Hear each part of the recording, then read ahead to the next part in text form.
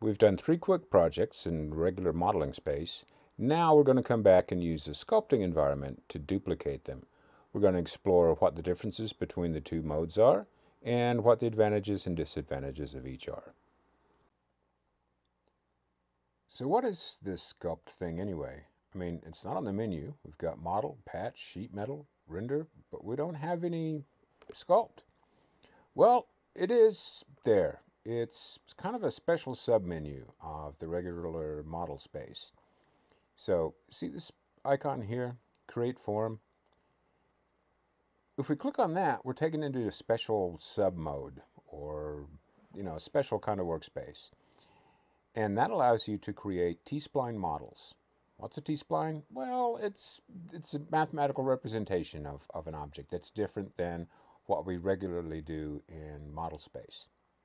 Let's explore a little bit. The simplest way is to use something like a primitive in model space. So over here under create, we have box, plane, cylinder, sphere, torus, Quadball, etc. That's kind of like the, uh, the cube or the cylinder in model space. So click on that. Let's look at this. You have the regular dimensions, length, width, height, but you also have the number of faces. So if we change that, notice that that changes the number of faces. Let's change that to 8. Oh, so we're getting a bunch now. And 8 here. Ha! So we have a lot more divisions, so we have a lot more finer control.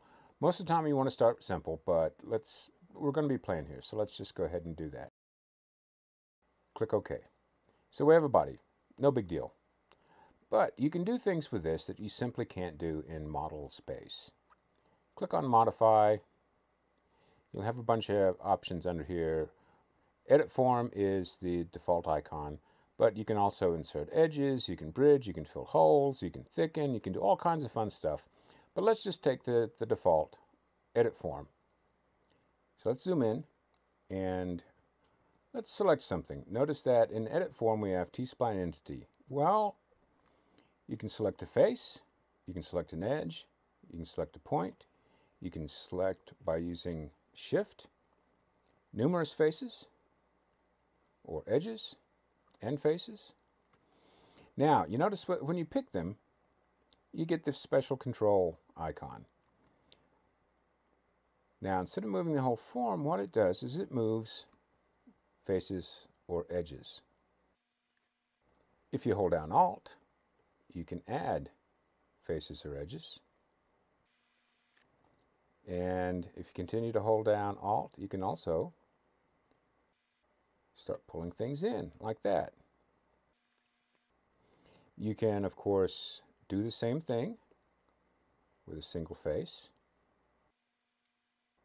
Now notice the transform mode you can select individual types of transform transformations. They have the multi which includes everything in one icon, translation which is basically move, rotation, and scale. Sometimes it's easier to click on that because it's kind of difficult to separate the different functions in that crowded icon. So you can see what it's doing here. It's really distorting things really quickly. We can also come in here, pick a single edge, and pull that out. Or a single point and pull that out. Now you notice I can move around and select different faces without exiting and then starting a new command. A lot of people, they like to do spaceships, that kind of stuff. And it is good for that.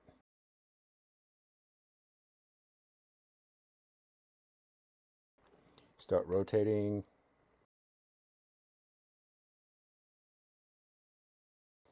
So you can do a lot of stuff with this. It's very, very simple. Very, very powerful. There are some tricks. There are some gotchas that you're not going to be familiar with. We'll cover some of them, but the main focus on this is to compare some of the things that we've done in the last three episodes and see how we might do them in Sculpt.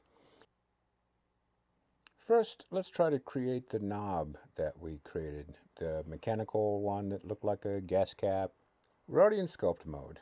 So let's create a sphere. Click on Modify, Edit Form, and let's select a couple of faces here. And make sure that the coordinate system is world space. Now notice coordinate system, you have world space, view space, and local. Let's just click on local. Sometimes you want it relative to the objects that you're working on. Other times you want it relative to the work plane or the regular uh, uh, coordinate system that you're used to working in. So let's draw this up a little bit.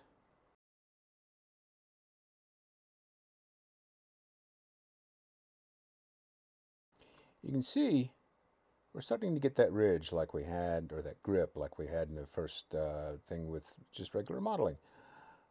But, oh my gosh, trying to do 12 of them, that's going to be crazy.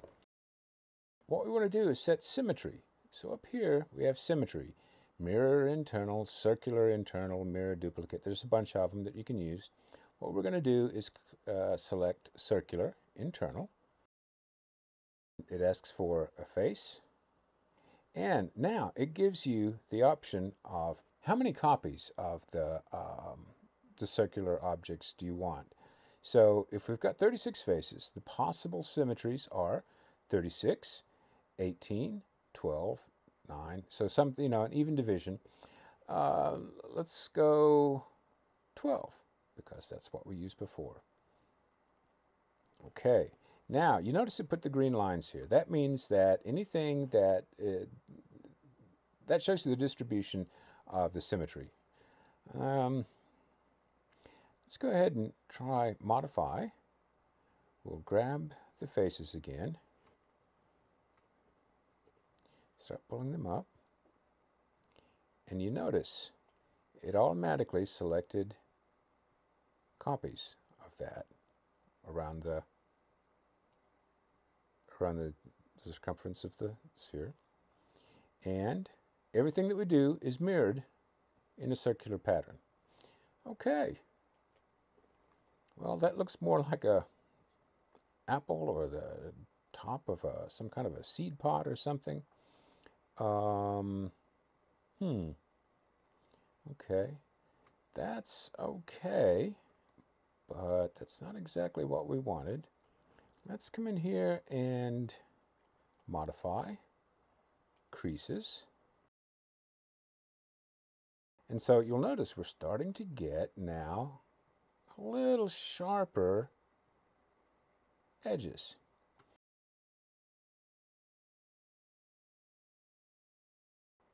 Just like uh, you finish a sketch, you can finish a form and it drops you back into model space. Now, we can look at this. And the neat thing about it is, once we're back in model space, we can do something like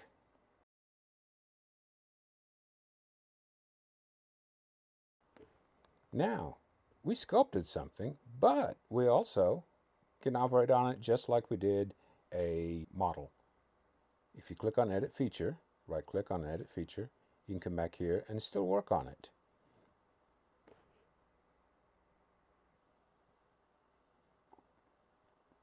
Okay, you know what? Let's go ahead and let's do something here. Let's turn off this body. And we're in model space. So we're going to create a cylinder.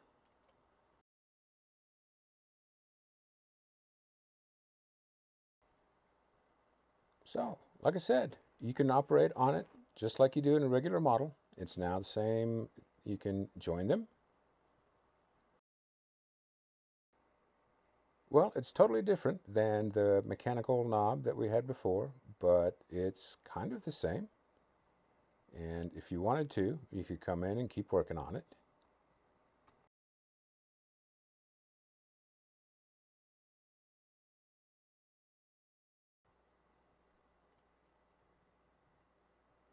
Yeah, that's a little bit better, although I think I'm I think I messed it up. But we've got a nice little twist going on there. It's not what I intended to do, but uh, we'll, we'll play with twisting and stuff later on. But that's that's a good start. Now, let's try to create the door pull using sculpting. So create sphere, and we should be able to do the same kind of stuff that we did with the mechanical looking knob.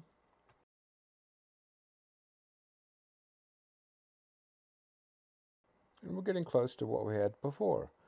But I wanted to show you something. You can also use revolve. So let's do the same thing that we did before. Let's create form, which will drop us into the sculpt space. Notice down here we can extrude, revolve, sweep, loft, just like the uh, regular model space. Let's go ahead and revolve. Okay, so this should look familiar. Revolve. That should give us enough to work with. And click OK. And we've got a... Oh, wait. Oh, it's hollow. Okay, this is one of the things about Sculpt. Sometimes it'll give you uh, more faces than a solid body. Now, there's plenty of ways around it. There's plenty of ways to uh, turn it into a closed body. That's what the patch space is for. There's all kinds of whole, uh, there's all there's all kinds of commands over here. Let's do fill hole and let's see T-spline edge, fill hole, collapse. Well, let's let's do this and see what happens. Okay. Now you notice it gives us different results. So again, we have so many options. Let's do reduced star here. Maintained crease edges, sure. Now what would happen if we unclicked maintain creased edges? Oh, it starts to starts sort of automatically round the edges. You know, I kind of like that. Let's go okay. Keep that. And modify, fill hole, select an edge. Okay. So we kind of have the same kind of wedge thing that we did before. Only a little more organic. Okay, let's finish form. Oh no. All kinds of red things and errors and oh no. Okay. That's okay. I know what's going on. I showed you this for a reason. Did you notice where all the errors are, were at? Where all of these things come together. Forms, it's, it's a magic thing. But there are some things it just does not like.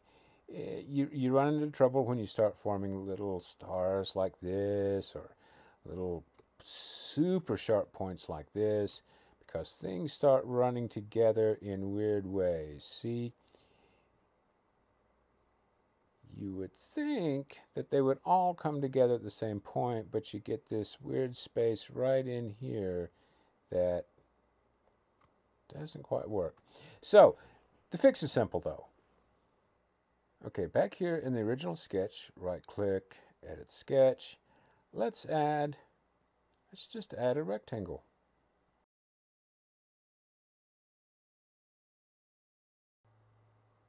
Now, we can finish sketch, drops us right back into model space, and well, we've got ourselves a nice little banana going on here. Now, we can do fun things that we weren't able to do before. So, modify. Now we can come back in and revolve. Now we can do the same thing that we did before. Create a circular pattern. But the neat thing is, now we can come back. I like to roll the timeline back and do it just one at a time. That way it doesn't get quite so cluttered. But you can come back in and edit the original feature.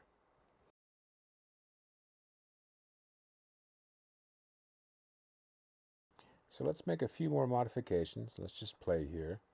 Let's actually first, let's set symmetry to mirror internal.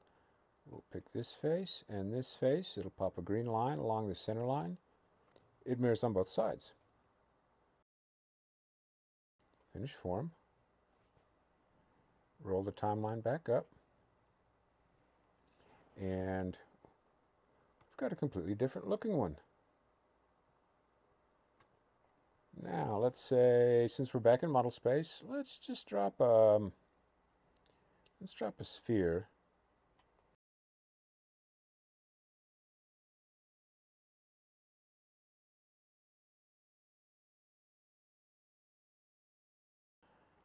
So we've got an interesting looking version done with sculpting instead of modeling.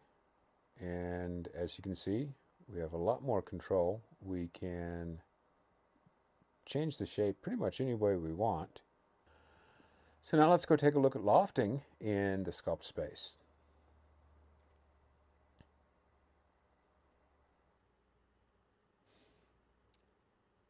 Okay, let's do some lofts in sculpt mode. We'll start with a sketch, do a spline, just like before in regular modeling mode. Now we'll construct some planes along path and sketch some objects onto that those planes. Now initiate sculpt mode, clicking by clicking form, create, loft and the familiar dialog box opens up just like in regular modeling space.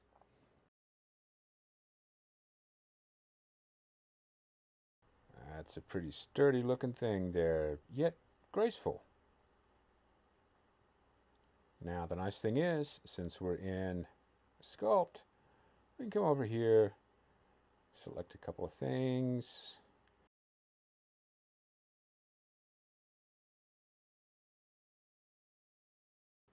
click on Symmetry, Mirror Internal,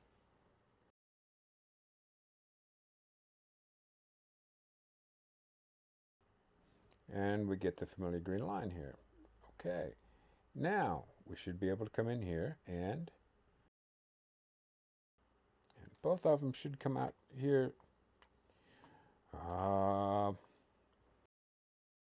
but they're not. They're not. Uh, let's see. What's going on here? I know what's going on here. I'm just kidding you. Oh, now look at that. They're different bodies. They're different bodies. Well, different surfaces.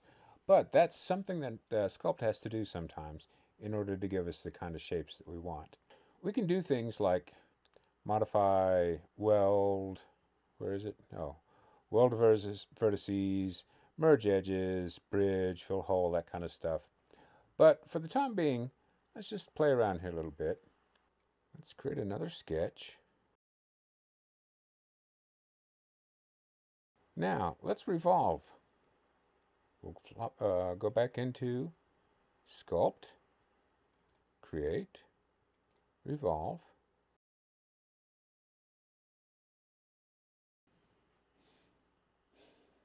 This time we're going to do something a little bit different. Let's let's scale.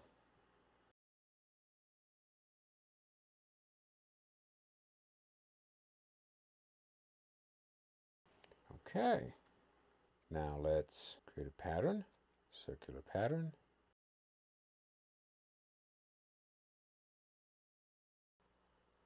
So I did a circular array or a circular pattern of the more sculptural parts and put it around the center of the vase and all of a sudden you're starting to get sort of an art deco look to this thing. That's pretty cool. Now I want to do one more thing. Let's do, actually let's do it this way. Let's go in here. Notice that we're in Sculpt, but we already have a sketch, construct, inspect, all the normal stuff. So we can do all of that inside the sculpt environment. So let's see. Let's do a spline again. Now let's modify. No, let's create. Revolve.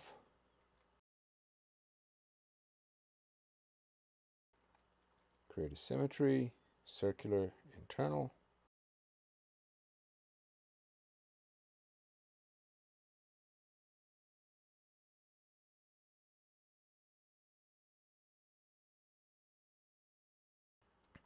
So we're getting something kind of interesting here. But I wanted to show you something that we haven't haven't really played with. I've done it by accident before, but I don't think I've shown that you can do it intentionally. Let's go here.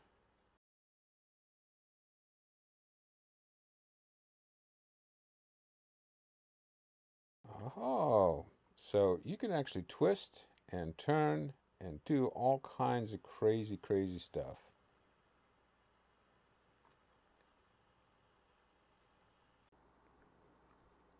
Okay folks, that's it for this video. I've spent 20 minutes of sped up action and I've still only scratched the surface of what you can do in sculpting mode.